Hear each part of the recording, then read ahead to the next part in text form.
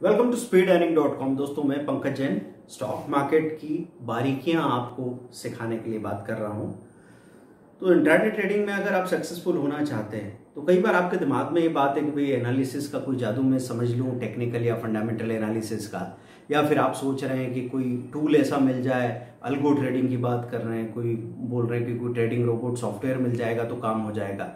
असली मुश्किल वो नहीं है। आपको अगर कहीं आगे बढ़ना है सॉल्यूशन चाहिए तो असली प्रॉब्लम को पहचानिए।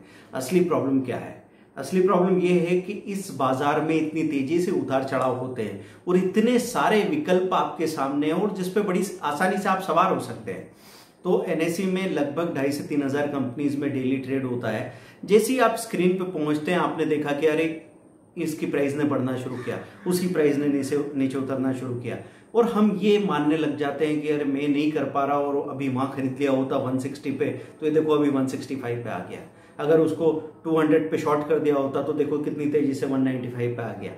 और हमको लग रहा हमारे मौके छूटे जा, जा रहे हैं। और जब मौका छूटने की फीलिंग आती है ना ये FOMO fear of missing out तो वो जब आपके पास आता है तो आप हड़बड़ी में कुछ भी करने लग जाते हैं। तो आपकी प्रॉब्लम है ओवर ट्रेडिंग में आज आपको ऐसा तरीका बताऊँगा जिससे आप बड़ी आसानी से स्ट्रेस फ्री होके ट्रेडिंग को एंजॉय करेंगे। और पैसा तो मिलेगा ही। पैसा जितना मैक्सिमम पॉसिबल प्रॉफिट होगा, वो आपको मिलेगा। लेकिन आपको गहराई से इस बात को सुनना होगा, फिर इसको समझ के जांचना होगा। जो कुछ भी हम यहाँ पे बताते हैं या कोई भी और आपको यूट्यूब चैनल पे बता रहा है। तो ऐसा नहीं कि आपने कोई नई चीज़ सुनने को मिल गई तो बस आप आपको मज़ा आया, आपके मन का मनोरंजन हो गया तो आपको लगा चलो हा हा हा कुछ भी कर लें। क्योंकि आपका पैसा इन्वॉल्व है। एक बार अगर गलती करेंगे तो चार नई गलतियों का सिलसिला शुरू हो जाएगा। एक बार अगर सही काम करेंगे तो चार नए काम, सही काम करने का भी आपको जोश या प्रोत्साहन मिलने वाला है। तो दोस्तों, जब आप ट्रेड करें ना तो सबसे पहले कुछ स्क्रीनर्स का इस्तेमाल करें। हमने वीडियोस में ऐसे कई स्क्रीनर्स बता रखे हैं, जिनका इस्तेमाल करके आप कंपेरेटिवली एक ठीक ठाक डिसीज़न ले सकते हैं। आप बेस्ट स्टॉक को चुने, ये ज़रूरी नहीं है। आप जैसे शॉर्ट टर्म ब्रेकआउट के स्क्रीनर में गए, वहाँ पे आपको पता लगा कि ये इतने सारे 25 नाम सामने आ रहे हैं। तो कंफ्यूज हो जाएँगे। जैसे आपके सामने बहुत सारे विकल्प आएँगे, आप कंफ्यूज हो जाते हैं कि अब इसमें से चुनू किसको? तो आपको करना क्या होता है? एक रात पहले स्टडी करके रखो, सबके चार्ट वार्ट एक नज़र डाल लो, मैं याद रखने की बात नहीं कर रहा हूँ, लेकिन एक बार अगर नज़र डाल रखी है पाँच स्टॉक पे भी, जिसमें आपको हार्डली दस मिनट लग सकते हैं। मैं आपको डिटेल टेक्निकल इंडिकेटर्स देखने की बात नहीं कर रहा हूँ, मैं नहीं बोल रहा हूँ आपको कि आरएसआई चेक करो मैकडी देख लो बोलिंजर बैंड देख लो, या फिर पैराबोलिक एस देख लो, ये नहीं बोल रहा हूँ मैं आपको। मैं आपसे कह रहा हूँ कि बस एक नज़र डाल के रख लो। क्योंकि उस नज़र से आपको याद आ जाता है ये चीज़ कि ये स्टॉक किस लेवल पे खड़ा है। जैसे प्राज इंडस्ट्रीज़ हमने देख लिया। हमको पता लगा कि 170 180 का शेयर था और बहुत दिनों से 60 से 70 रुपए के लेवल में कहीं फंसा हुआ था, अभी भागना शुरू किया है। तो ये 75 से 90 95 चला जाए, ये कोई बड़ी बात नहीं है। एक बार के मूवमेंट में पीछे भी जब ब्रेकआउट हुआ तो 20 परसेंट तक का मूवमेंट आने की संभावना है। संभावना हाँ गारंटी की बात मत करना। कई बार लोग ये पूछने लग जाते हैं कि, सर गारंटी है क्या? है ना? तो फिर मुझे वो वेनसडे का डायलॉग याद आ जाता है कि मैं क्या पंखा बेच रहा हूँ? आप बिज़नेस जब करने आ रहे हैं तो इस शब्द से तो परहेज ही कर लीजिए। क्योंकि कोई गारंटी दे भी देना आपको लिख के स्टाम्प पेपर पे तो भी मत करना है काम। बहुत सारे लोग ऐसे हैं जिन्होंने किसी नए डीलर विलर को या किसी स्कीम वाले या सब ब्रोकर को ऐसे पैसा दे दिया, दस लाख रुपया पहले पाँच दो लाख दिया होगा, दो लाख पे उसने दो महीने में बीस परसेंट, तीस परसेंट का रिटर्न दे दिया। तो हम लाए दस लाख की एफडी तोड़ के उसके हाथ में रख दी। बाज़ार जब तक चल रहा था, आपको पता लगा दस लाख पे तीन लाख कमा लिया लेकिन एक बार जब लॉन्ग करेक्शन आएगा तो वो तीन तो गए, ऊपर से आपकी कैपिटल के दो लाख भी अंदर घुस जाएँगे, और इससे भी बुरा ये होता है, लोगों की पूरी पूरी कैपिटल ही खत्म हो जाती है। ऐसा नहीं है कि जो लोग आपका पैसा ले रहे हैं वो बेईमान लोग हैं। लेकिन बाज़ार पे कंट्रोल नहीं ना किसी का।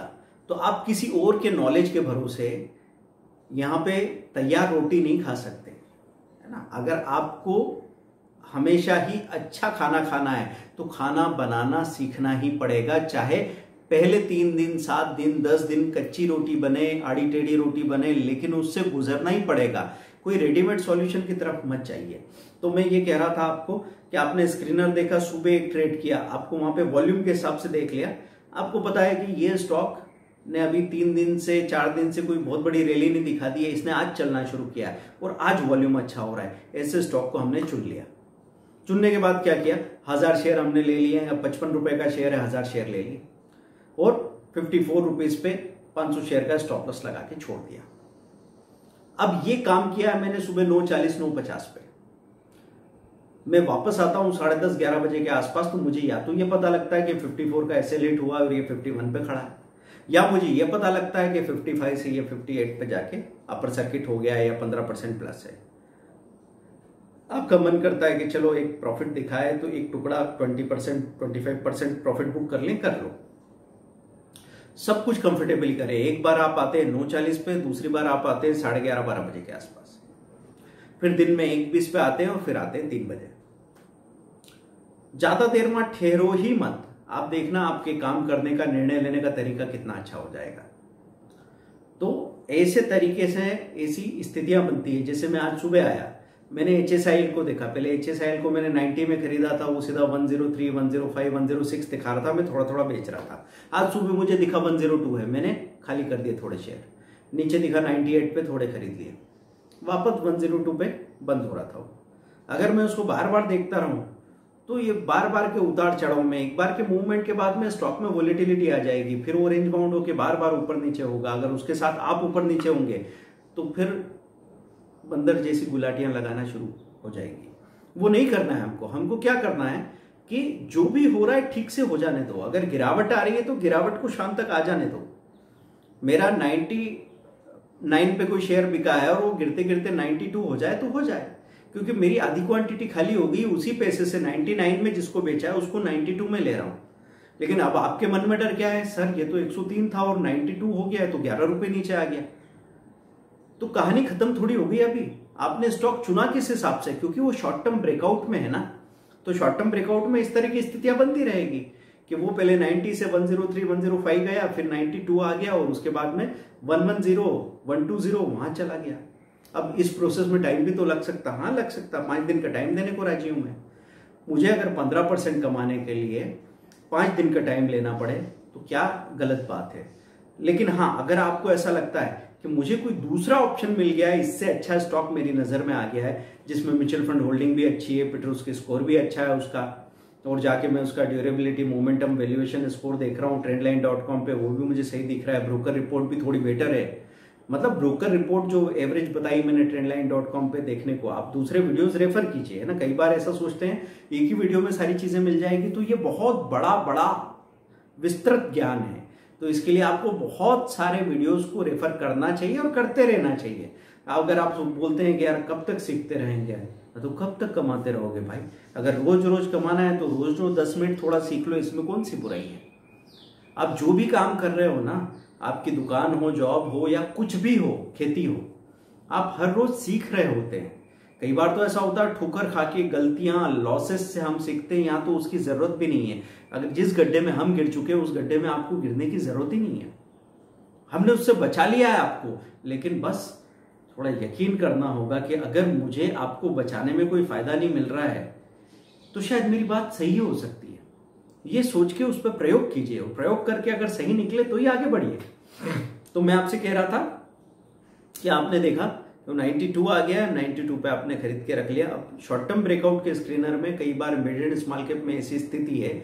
आपके सामने सुबह से स्टॉक तीन परसेंट नीचे चला जाएगा सुबह के लेवल से, और शाम तक आके देखोगे तो पाँच परसेंट ऊपर सर्किट मिलेगा।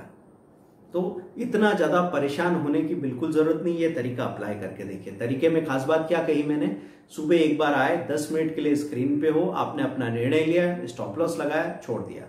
फिर आप ग्यारह, साढ़े ग्यारह बजे के आसपास आए, आपने देखा क्या हुआ, क्या नहीं हुआ। वहाँ पे कोई छोटा मोटा प्रॉफिट बुकिंग करना है, कर लीजिए। अगर नीचे आ गया थोड़ी सी और बाइंग करनी है स्टॉप लॉस के नीचे स्टॉप लॉस हिट हो चुका है, वो नीचे चला गया, वहाँ पे थोड़ी सी बाइंग करनी है। पाँच सौ शेयर बिक चुके हैं और आपको लगता है कि सौ या डेढ़ शेयर फिर से ले लेता हूँ। कर लीजिए। मैं ये नहीं कह रहा हूँ आपको पाँच सौ शेयर जो ऐसे लेट हो गया, वो पूरे पूरे पाँच सौ शेयर आप वहाँ पे खरीद लो, लेकिन दो सौ शेयर हमें उसमें खरीदना है। भाई फिफ्टी फोर का ऐसे लेट हुआ फिफ्टी वन पे खड़ा है। आपने वहाँ पे दो सौ शेयर खरीद लिए। क्योंकि एक शर्त तो यहाँ पे ही कि शॉर्ट टर्म ब्रेकआउट में हमने उस स्टॉक को चुना है, जो स्टॉक हमारी नज़र में, हमारी स्टडी में अच्छा है, और ये अभी नीचे के लेवल पे ही है। लेकिन वॉलेटिलिटी है तो उतार चढ़ाव हो सकते हैं। तो आपने वहाँ पे ले लिया, अब आपकी कॉस्ट एवरेजिंग थोड़ी बेटर हो गई है। शाम तक आके देखते हैं। एक बीस पे आके देखा, आपको नज़र आ रहा है कि फिफ्टी सेवन खड़ा है। आपने थोड़ा प्रॉफिट बुक कर लिया। और फिर by the end of the day आपको नज़र आ रहा है कि अपर सर्किट हो गया। अपर सर्किट हो गया तो आज मत बेचना। अपर सर्किट अगर स्टॉक हो गया है तो जाके सर्किट चेक कर लिया आपने। आपको नज़र आ रहा है वहाँ पे पहले दो लाख बायर थे, फिर 2.2 लेख हो गए, फिर 2.5 लेख हो गए, फिर थ्री लेख हो गए। मतलब सर्किट मज़बूत है। बायर वहाँ लाइन में खड़े हुए हैं। सर्किट बहुत अच्छा है तो आप आज मत बेचिए। अगर आपको फिर भी डर लगता है कभी कभी ऐसा होता है कि अपर सर्किट लगा है। आपको लगा कि ये सर्किट पे रहेगा, कल सुबह ऊपर खुलेगा, लेकिन पता नहीं कब ढाई तीन बजे के आसपास सर्किट ओपन हो गया और लुढ़क के नीचे चला गया। तो ऐसे में एक परसेंट नीचे का स्टॉप लॉस लगा दीजिए। आपको लगता है ये सर्किट हुआ है सिक्सटी रुपीज़ पे तो फिफ्टी नाइन रुपीज़ पे आपने स्टॉप लॉस लगा के रख दिया। अब सर्किट अगर खुला ही नहीं तो आपका ऐसे लिट होगा ही नहीं। अब ये 60 सर्किट पे बंद रहा पूरे दिन तो हो सकता है अगले दिन 63, 64 खुलेगा। तो मालूम भी नहीं पड़ेगा आपको कब 54 का खरीदा हुआ स्टॉक 64 में बिक रहा है। आप 20 परसेंट प्रॉफिट कमा पा रहे हैं बड़ी आसानी से। या अभी ये जो तेज़ी का दौर चल रहा है, जब मिड एंड स्मॉल कैप में इस तरह की बाइंग आई है, इसी तरह के दौर आपको देखने को मिलेंगे। लेकिन ध्यान रखना, निफ्टी जब नीचे से चलना शुरू करे ना तो आपने देखा निफ्टी बॉटम जो लास्ट बनाया है, समझो वो बारह आठ सौ है। तो बारह आठ सौ से बारह नौ सौ, बारह तेरह हज़ार, तेरह एक सौ, तेरह दो सौ हो जाए तो फिर धीरे धीरे अपनी क्वांटिटी कम करते जाएँगे फिर अगले डिप के बाद वापस क्वांटिटी बढ़ाएँगे। नहीं तो जोश जोश में हम क्या करते हैं? जैसे जैसे फ़ायदा होता जाता है, वैसे वैसे क्वांटिटी और वॉल्यूम बढ़ाते जाते हैं। फिर बाज़ार जब एक ही बार करेक्ट होगा तो आपने हज़ार शेयर की क्वांटिटी पे फ़ायदा कमाया और दो हज़ार, तीन हज़ार शेयर की क्वांटिटी पे लॉस कर लिया। तो कुल जमा आपके पास लॉस इकट्ठा हो जाएगा। तो जब जब आपको प्रॉफिट मिलता जाए, अपने वॉल्यूम को कम करते जाइए। तो दोस्तों ये तरीका अपना के देखिए ट्रेडिंग में इंट्राडे ट्रेडिंग में आपको बिल्कुल ही चिंता करने की ज़रूरत नहीं है।